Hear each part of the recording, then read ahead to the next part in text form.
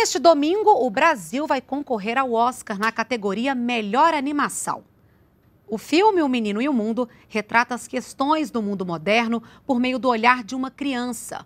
A animação foi construída com diversas técnicas artísticas, como lápis, canetinhas, giz de cera e colagem. O filme contou com financiamento público. É a primeira vez que uma produção brasileira concorre na categoria Melhor Animação. A premiação no Oscar será neste domingo.